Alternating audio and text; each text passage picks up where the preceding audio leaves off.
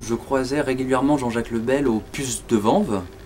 Euh, et euh, j'ai eu la chance de, de, le rencontrer par l'intermédiaire de Frédéric Léglise, qui m'a proposé un jour d'aider Jean-Jacques à, transvaser ou à, déplacer une sculpture et qui avait un socle. Et donc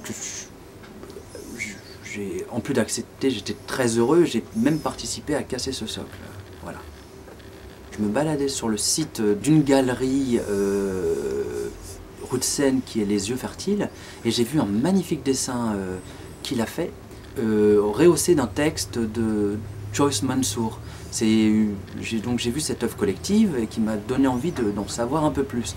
Et c'était au moment de l'expo Traces du Sacré, qui était une très belle expo, qui est même une expo historique des dernières années, euh, dans laquelle on pouvait trouver une œuvre de Jean-Jacques Lebel euh, qui était Radio Momo, si je ne dis pas de bêtises. Et à ce moment-là, j'ai commencé à, me, plonger dans, son, travail et j'ai commencé par chercher un peu ce, qu'il avait pu faire euh, et ce qui avait été un peu plus référencé dans des ouvrages un peu classiques et je trouvais très très peu de choses. Et c'est à ce moment-là que j'ai compris que c'est un homme euh, de rencontre, un, homme qui a participé à des événements euh, importants en Europe, qui a fait de grandes traductions.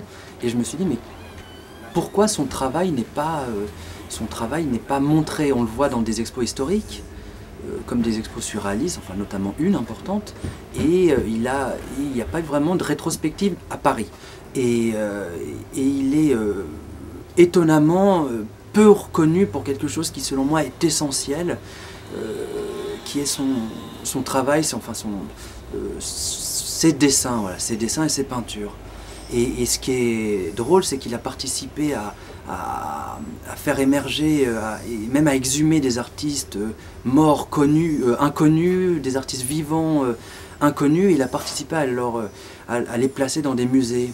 Et, il a fait par ailleurs un certain nombre d'expositions pour valoriser leur travail. Et euh, en utilisant tout ce temps-là, il a, mis au banc son, travail d'artiste qui est, euh, selon moi, l'un des travaux les, plus importants euh, de l'après-guerre en France, qui, est énorme et qui est qui est précisément euh, l'endroit dans lequel euh, Jean-Jacques Lebel a le plus d'incertitude. C'est ça qui est paradoxal d'ailleurs, c'est qu'il est très clair par ailleurs, très euh, intransigeant, mais à l'endroit du dessin, il est le, plus pudique, le plus, réservé. Et c'est précisément à cet endroit-là que, que, que, que, son monde est, est le plus habité. Voilà.